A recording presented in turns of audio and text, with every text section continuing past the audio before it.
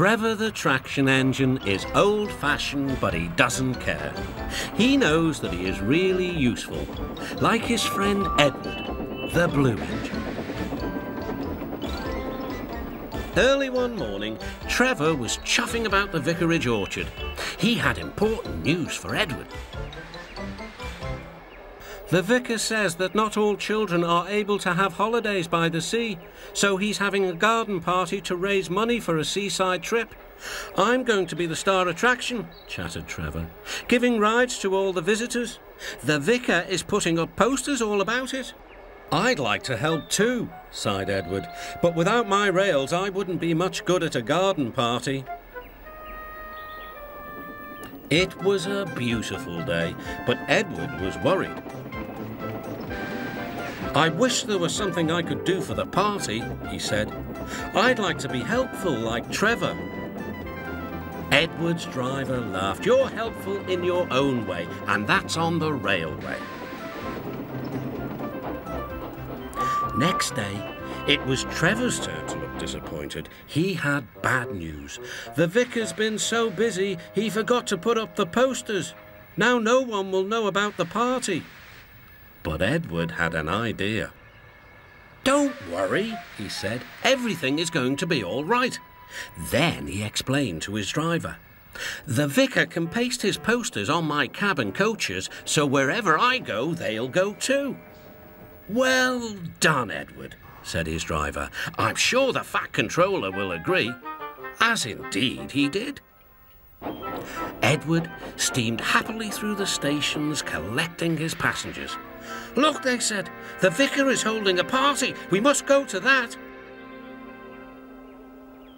Later, Trevor was resting in the orchard shed when Bertie rolled by. Hello, Trevor. Why are you dozing there like an old stick in the mud? I'm not dozing, I'm resting, replied Trevor.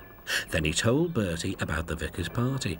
I'll be there too, boasted Bertie. I'm not sure people will want to ride on an old traction engine after travelling in a smart red bus like me.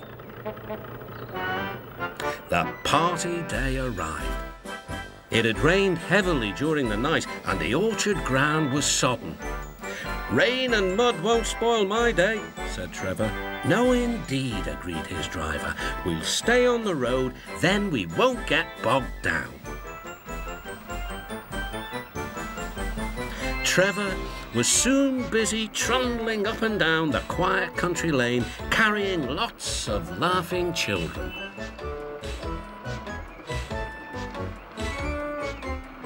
He was just turning a corner when he heard Bertie. Hello, old-timer. I'm taking everyone to the party. Edward's idea is really working. Trevor gave Bertie a cheerful whistle and turned back toward the orchard.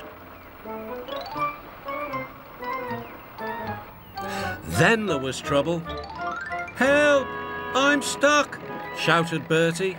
His wheels had sunk deep in the orchard mud. Terence the tractor arrived just in time.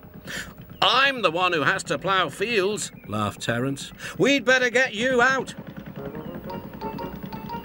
Using strong ropes, Terence and Trevor pulled Bertie clear of the mud. This will teach Bertie a thing or two, Trevor chuffed to himself. At last, Bertie was on the road again. Thank you, Trevor, he laughed. You're not a stick in the mud at all. No, smiled Trevor, but you were, just for a little while.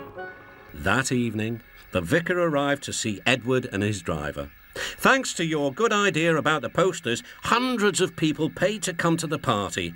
We've raised lots of money for the children. Edward was very pleased. And Trevor fell happily asleep, thinking of all the children who would now get to the seaside at last.